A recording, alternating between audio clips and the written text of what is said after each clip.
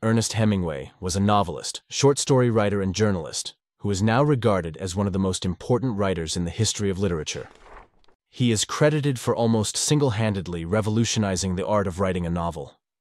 And I think it is safe to say that no other writer has had as much influence on 20th century fiction as Hemingway has had. The structure and style of the modern-day novel can be directly traced back to Ernest Hemingway. In this biography, we will take a brief look at Hemingway's life as a writer and a human being. Ernest Hemingway was born on 21st of July, 1899, in Oak Park, Illinois, just west of Chicago. Hemingway's father, Clarence Hemingway, was a physician, and his mother, Grace Hemingway, was a well-known musician in Oak Park. From an early age, when the Hemingway family went on holiday to northern Michigan, Hemingway went along with his father to fish, hunt, and camp in the woods and near the lakes of northern Michigan. It was on these trips that Hemingway learned how to hunt and fish. These childhood experiences instilled in him a lifelong passion for hunting, fishing, and other forms of outdoor adventures. In 1913, Ernest Hemingway, aged 14, enrolled in Oak Park and River Forest High School. Hemingway was said to be a good athlete who took part in multiple sports, including football, track and field, and boxing, the latter of which remained a lifelong passion for him. He also received good grades in English, which is not very surprising in hindsight.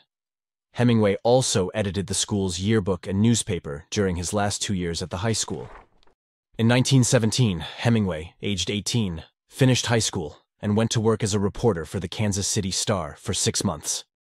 His time there as a reporter greatly influenced his future writing style. Hemingway was asked to use short sentences, short first paragraphs, vigorous English, and to be positive, not negative in his writing. This very writing style would become Hemingway's trademark in the future. In 1918, during a Red Cross recruitment effort, Ernest Hemingway enlisted as an ambulance driver in Italy. Prior to this, he had been rejected by the United States Army due to poor eyesight.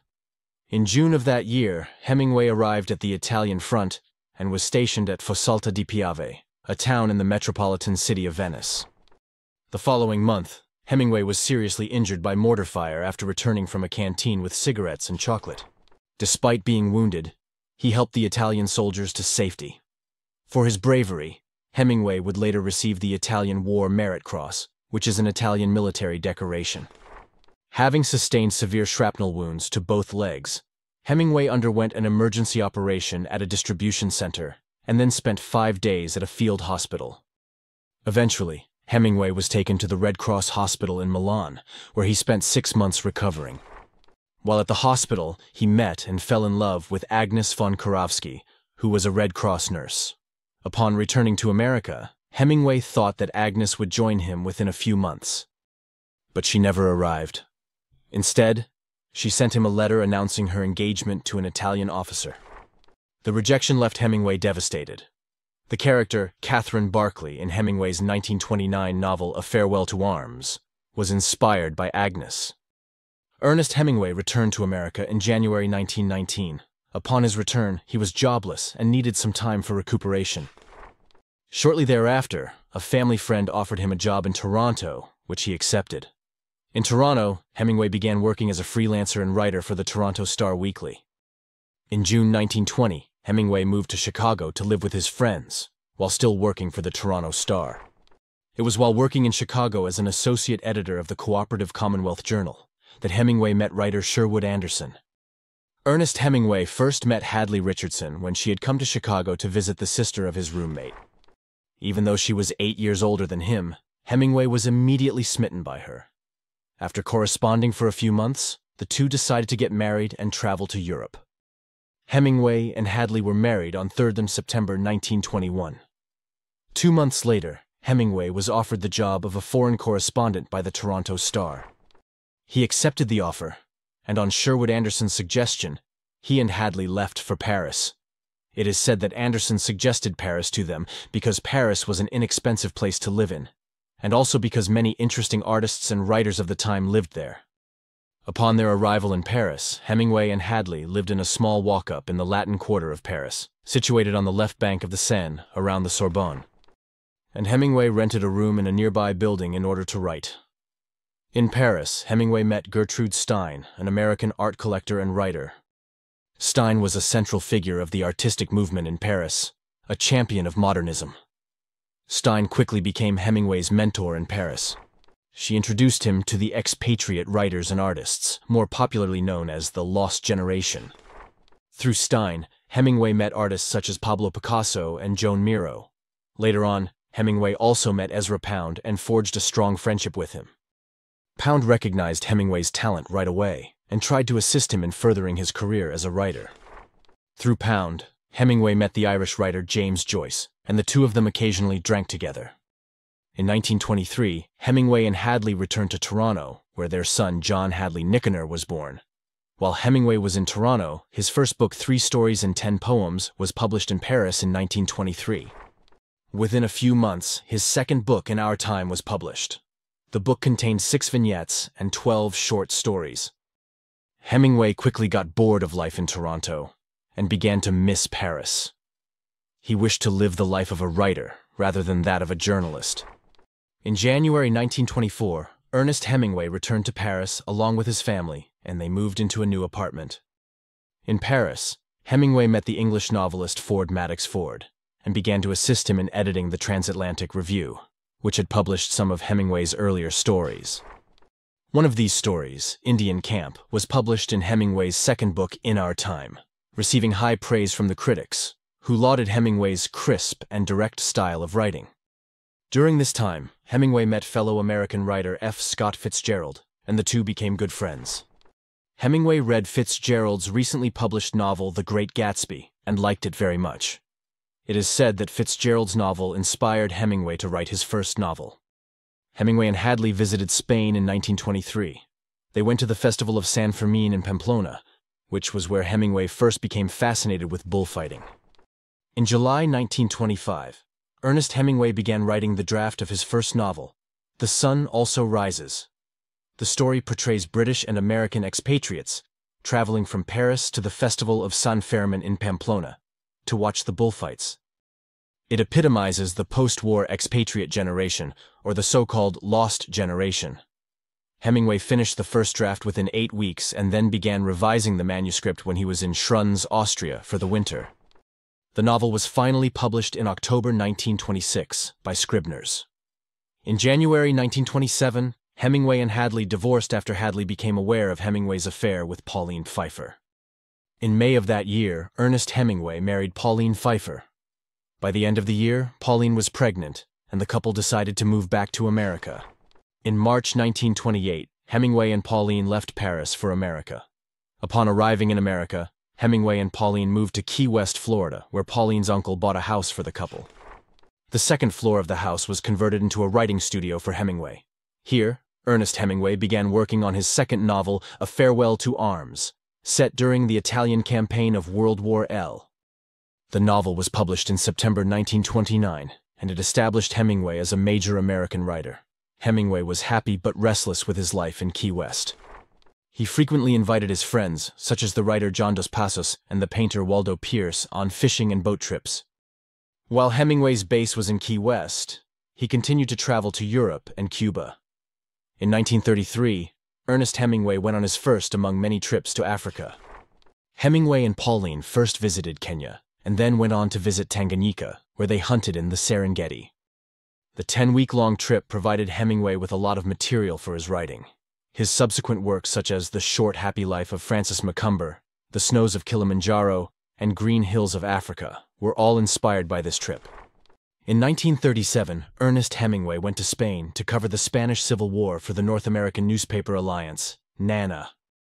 In Spain, Hemingway was joined by Martha Gellhorn, an American writer and journalist, who is now regarded as one of the best war correspondents of the 20th century. Martha Gellhorn would eventually become Hemingway's third wife. While in Spain, Hemingway wrote his first and only play, The Fifth Column. An anthology called The Fifth Column and the First 49 Stories was published in 1938. Hemingway was present at the Battle of the Ebro, which was the longest and largest battle of the Spanish Civil War, taking place between July and November 1938. He was one of the last journalists to leave the battle scene. In 1939, after the end of the Spanish Civil War, Ernest Hemingway moved to Cuba. By now, Hemingway had separated from Pauline. Martha joined him in Cuba, and they rented a 15-acre property 15 miles away from Havana. In 1939, Hemingway began writing the draft of For Whom the Bell Tolls, which was about a young American volunteer attached to a Republican guerrilla unit during the Spanish Civil War. Hemingway finished the final draft of the novel in July 1940, and the novel was published in October 1940. The novel was a great success. It was nominated for the Pulitzer Prize and enhanced Hemingway's stature in the literary world. After Hemingway's divorce from Pauline was finalized, he married Martha on 20th of November 1940 in Wyoming. In May 1944, Ernest Hemingway went to Europe to cover the Second World War. Upon his arrival in London, Hemingway met American journalist Mary Welsh, who would eventually become his fourth wife. Hemingway went along with the troops to the Normandy landings but was not allowed to go ashore, as no correspondents were permitted to land on that first day. The landing craft came under heavy fire before turning back. Hemingway would later write about how he witnessed many of the troops get shot and fall on the beach. In July, Hemingway attached himself to the 22nd Infantry Regiment, which was commanded by Colonel Charles Buck Lanham. The regiment was on its way to Paris when Hemingway joined them. Hemingway and Lanham became close friends. Hemingway greatly admired Lanham and described him as the finest, bravest, and most intelligent military commander he had ever known. Lanham was the inspiration for Colonel Cantwell in Hemingway's 1950 novel Across the River and Into the Trees. Hemingway was also present at the liberation of Paris on 25th August 1944. Later on, Hemingway was awarded a Bronze Star for his bravery during the war. Ernest Hemingway was surprisingly prone to accidents, falling victim to multiple car and plane accidents in his lifetime. These accidents often left him with serious and sometimes everlasting wounds and injuries, which would trouble him for the rest of his life. The successive deaths of many of his close friends and his heavy drinking habit slowly began to push him into depression. He began to suffer from weight problems, high blood pressure, and diabetes. In 1952, Ernest Hemingway's most famous work, The Old Man and the Sea, was published. The novella tells the story of an aging Cuban fisherman named Santiago, who struggles to catch a huge marlin off the coast of Cuba. Hemingway wrote the novella in 1951 while living in Cuba. On its publication, the book was an instant critical and commercial success. And in 1953, the novella was awarded the Pulitzer Prize for Fiction, making Hemingway even more popular internationally. The following year, Hemingway won the Nobel Prize in Literature. However, he chose not to travel to Stockholm to receive the prize, as he was suffering from pain due to his plane accidents in Africa. Instead, he sent a speech to be read. The Old Man and the Sea was an important factor in deciding to award Hemingway the Nobel Prize. In 1956, while on a trip to Paris, Ernest Hemingway retrieved some trunks of his which he had stored in the Ritz Hotel in 1928. In the trunks, Hemingway discovered many notebooks full of writings from the years he lived in Paris. These notebooks provided him with great material for his next work. The following year, Hemingway returned to Cuba and began to edit the writings in his notebooks into his memoir, A Movable Feast. Simultaneously, he also worked on other unfinished projects. During this period of intense writing, Hemingway slid into depression and was never able to recover again. In 1960, Hemingway and Mary left Cuba for good and eventually moved to Idaho. Hemingway was constantly paranoid and worried, convinced that he was being watched by the FBI, which was apparently true.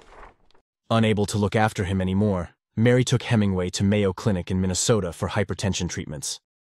At the Mayo Clinic, Hemingway underwent multiple electroshock treatments. After his release from the Mayo Clinic, Hemingway was back in Ketchum, Idaho. In the early morning hours of 2nd July 1961, Hemingway shot himself with a shotgun, killing himself instantly. Ernest Hemingway is now buried in the Ketchum Cemetery. Without a doubt, Ernest Hemingway has gone down in history as one of the greatest and most influential writers ever. Hemingway published seven novels, six short story collections, and two works of nonfiction in his lifetime, and he addressed the themes of life, war, emasculation, love, loss, adventure, and wilderness in his works. He popularized the spare and tight prose writing style that first made him famous, thereby exerting an influence on the contemporary style that is unparalleled. Hemingway himself described his style as the iceberg theory, also known as the theory of omission. His style was economical and understated, and he was able to convey things without explicitly stating them. Rest assured, Hemingway has cemented his place in the pantheon of great writers who influenced generations to come. His works have stood the test of time and are now regarded as classics in American literature. Ernest Hemingway's life has now become a stuff of legends, and his stature in the world of literature has remained largely unquestioned, unchallenged, and undiminished.